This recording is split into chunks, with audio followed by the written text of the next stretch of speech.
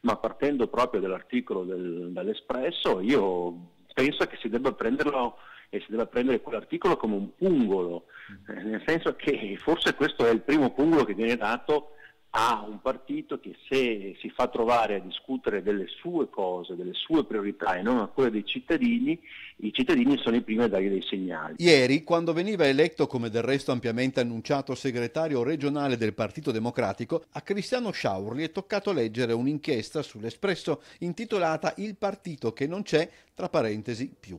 Eppure, secondo Sciauri, la realtà del Friuli Venezia Giulia è leggermente diversa, in virtù anche di un atteggiamento diverso da parte dei vertici. Noi abbiamo avuto un relativo calo di iscritti nell'ultimo periodo, non, non sicuramente drammatico. In queste zone abbiamo provato a fare un percorso diverso, abbiamo una comunità che abbiamo verificato anche nella fase congressuale, perché il congresso noi l'abbiamo fatto, solo che l'abbiamo fatto discutendo sui territori invece che farsi la guerra uno contro l'altro, abbiamo verificato di avere una comunità e bisogna ripartire da quella comunità.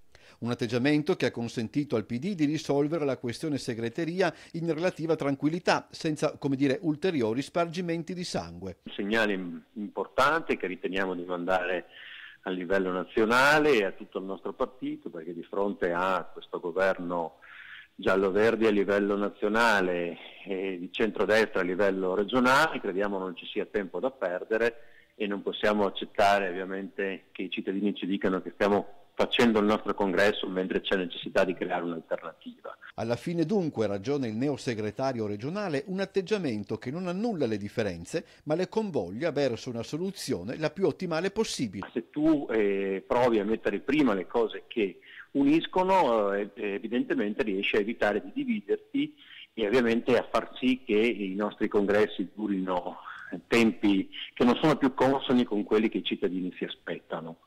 Questo è, è il dato vero. Yeah.